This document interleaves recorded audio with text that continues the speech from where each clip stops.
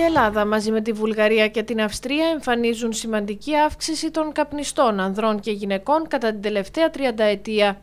Οι Ελληνίδες είναι πρωταθλήτριες σε όλο τον κόσμο, καθώς το 2012, σύμφωνα με διεθνή έρευνα, ήρθαν πρώτες σε ποσοστό 34,7%. Ποια χώρα πιστεύετε ότι οι γυναίκες καπνίζουν περισσότερο, ποια θα μου απαντούσατε; Σίγουρα η Ελλάδα, γιατί ζω στο εξωτερικό.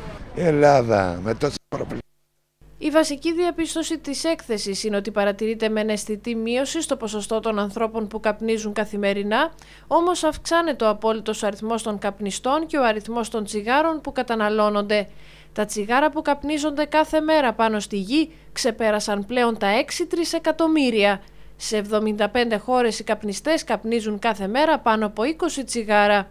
Απλώς ένα εφέ γίνεται, τίποτε περισσότερο. Πώς σας φαίνεται που οι Ελληνίδες είναι πρώτες στο κάπνισμα; Πολύ άσχημο. Πάρα πολύ άσχημο. Διότι δεν θεωρώ και τα οικονομικά μας πως είναι τόσο ανθυρά ώστε να ρίχνουμε και στον καπνό τόσα χρήματα. Εγώ είμαι από την Αυστραλία και, έτσι, και εκεί καπνίζουν πάρα πολύ. Ενώ το 1980 κάπνιζαν το 41% των ανδρών και το 10,6% των γυναικών του πλανήτη, το 2012 αυτά τα ποσοστά είχαν μειωθεί σε 31 και 6,2% αντίστοιχα. Στο μεταξύ όμως αυξήθηκε ο παγκόσμιος πληθυσμός και έτσι οι καπνιστές αυξήθηκαν και αυτοί πλησιάζοντας πλέον το 1 δισεκατομμύριο από 721 εκατομμύρια το 1980. Οι νόμοι σε ό,τι αφορά τον περιορισμό του καπνίσματος δεν εφαρμόζονται όπως και πάρα πολλοί άλλοι νόμοι που δεν εφαρμόζονται. Είναι χαρακτηριστικό του λαού μας.